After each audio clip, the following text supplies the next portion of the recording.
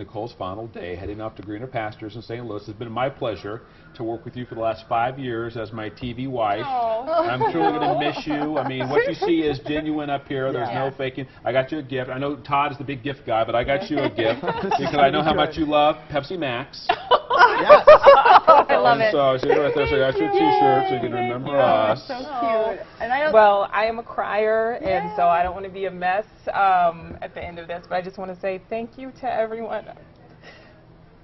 Dude, I'm going to miss you guys. You've been great. I've learned so much from John, so it's been great. It really has. And I'm so excited about my new opportunity, but I genuinely love Omaha and this team, and this is obviously a, a real reaction, so thanks for being such a great city. And Oh, I just want to be a happy You- you- Hey, you know what's great right now is that we can take a live look at Bayliss Park. we only do that at 450, but you, uh, we know how much you love the Bayliss Park, so let's take, let's take a live look. And there's, there seems to be some signs. Oh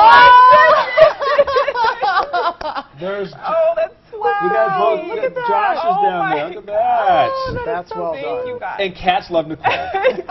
That's amazing. Thank you. You guys, this is amazing. So thank you so much. And I'm going to miss everyone. Thank you so much for the kind notes and messages that I've received from so many people. And it's been great. And I will really miss you. And I'll come back. I'll come back. Well, she someday. has to. You're from Nebraska. That's right. And your mom's in Lincoln. You can't leave Right, mom. that's true. I yeah, can't. come back and see us a few times. All right? Thank you.